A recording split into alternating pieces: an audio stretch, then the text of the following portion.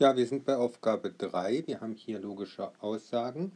Die Gleichung 3x minus 7 gleich 2. Die formt man normalerweise äquivalent um, indem man die 7 auf die andere Seite bringt, zu 3x gleich 9, und teilt das ganze Äquivalent durch 3 und bekommt x gleich 3 als Lösungsmenge. b und 1 gehört also zusammen und ist der normale logische Schritt. Und das ist das, was normalerweise gemacht wird. Wir formen die Gleichung also zweimal äquivalent um und lesen die Lösungsmenge ab. Wenn ich jetzt die ähm, Äquivalenzzeichen durch Folgerungszeichen ersetze, das ist da, können wir uns natürlich überlegen, was das für logische Konsequenzen hat. Nehmen wir ein einfaches Beispiel. x gleich 3 hat also nur eine die Lösungsmenge hat ein Element, x gleich 3.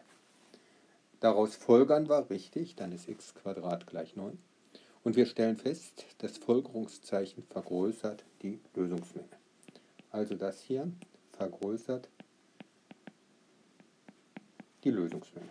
Das heißt natürlich nicht, dass die Lösungsmenge immer vergrößert wird, aber sie kann vergrößert werden. Ja, und wenn ich jetzt eben feststelle, unter a, wir haben also eine beliebige Lösungsmenge, die kann zum Beispiel die Leermenge sein. Ich habe einen Widerspruch. Jetzt folge ich daraus was und folge nochmal was und dann bekomme ich ein Element der Lösungsmenge.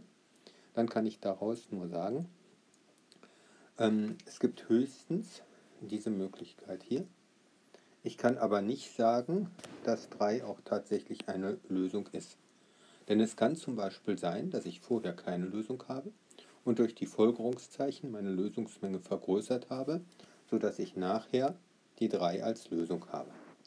Wir sind also jetzt hier, a und 3 gehören zusammen. Ich wiederhole nochmal, die Folgerung vergrößert die Lösungsmenge. Wenn ich also ähm, zwei Aussagen mit Folgerungen verknüpfe und hinten x gleich 3 steht, dann kann es sein, dass auf der linken Seite auch x gleich 3 die Lösungsmenge ist es kann aber auch sein, dass ich dort überhaupt keine Lösung auf der linken Seite habe und durch die Folgerungszeichen die Lösungsmenge so lange vergrößert habe, bis die 3 dabei ist. Jetzt kommt die letzte Aussage, die wird umgekehrt gelesen. x gleich 3, daraus folgt 3x gleich 9, daraus folgt 3x minus 7 gleich 2. Ja, und die Lösungsmenge x gleich 3 sagt aus, die wird jetzt vergrößert, dass die Gleichung 3x minus 7 gleich 2 tatsächlich 3 als Lösung hat, aber es könnten jetzt weitere Lösungen dazugekommen sein. Deswegen ist c und 2 passen zusammen. Das heißt, wir wissen, dass 3 eine Lösung der Gleichung ist.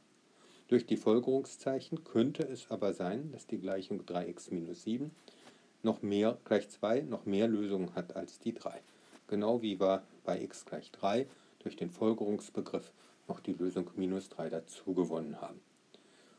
Deswegen die einzig vom Mathematiker vernünftig ähm, geführte Schreibweise ist eben die, auf die man sich einigen sollte. Das ist das hier, das ist das, was man vernünftigerweise machen sollte. Das ist ähm, also die Gleichung äquivalent umformen, solange man die Möglichkeit hat, und dann eben die Lösungsmenge angeben. Das ist, wenn man irgendwie die Möglichkeit hat, die Gleichungen äquivalent umzuformen, dann sollte man sich auf diesen Weg hier konzentrieren und die Äquivalenzzeichen nicht durch Folgerungen oder Umkehrfolgerungen ersetzen. Die Folgerungen und Umkehrfolgerungen sind dann sinnvoll, wenn wir mit Ungleichungen arbeiten. Da kann man die vorteilhaft anwenden.